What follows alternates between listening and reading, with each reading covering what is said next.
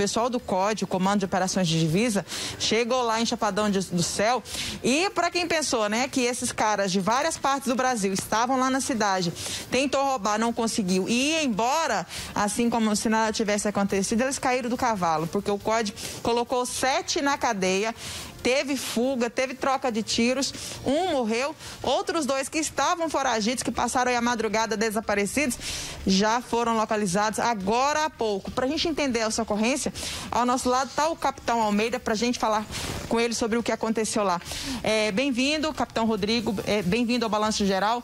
Parabéns, antes de mais nada, né, que sete ladrões de banco na cadeia não é comum, né? A gente vê muitos casos aí com muitas mortes, mas na cadeia, parabéns aí pelo trabalho. Conta como que foi. Obrigado pelo reconhecimento.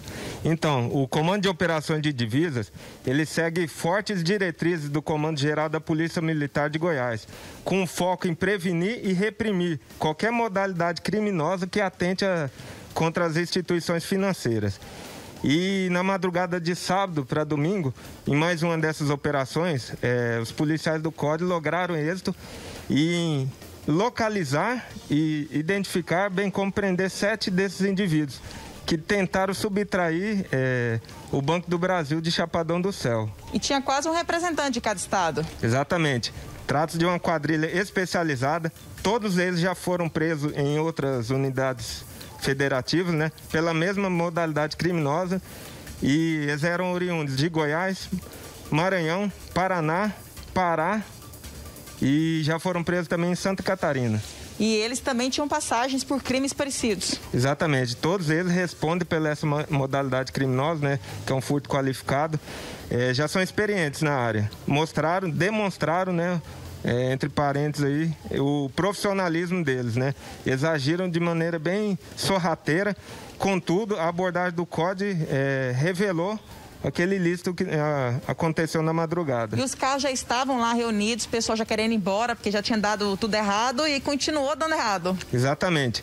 Eles passaram duas noites aí cortando o cofre, conseguiram chegar no cofre, é, todavia esse cofre estava vazio. E eles então cientes que não, não conseguiria ter êxito nessa missão, né, já estavam se preparando para a fuga. Eram quatro veículos. E na tentativa de abordagem, dois veículos tentaram evadir, fugiram para a rodovia, dois foram para o mato e um optou por confrontar os caçadores. E esse veio a óbito no, é, no hospital local. Os outros dois, como você já disse, né, foi localizado pelo policiamento ordinário hoje na parte da manhã. Pois é, Loares. Aí muitos, é, muitos bandidos falam assim, ah, mas roubar a instituição é, financeira não vai fazer mal a ninguém. Mas pensando assim, muitos crimes aconteceram no passado e eles foram responsáveis pelo fechamento de várias empresas, várias agências no Brasil inteiro, né? Porque o prejuízo sempre foi grande, alguém teve que pagar esse prejuízo e no fim das contas cai, ainda cai para o povo, porque as agências estão cada vez, cada vez menos, né, Loares, por aí, essas agências.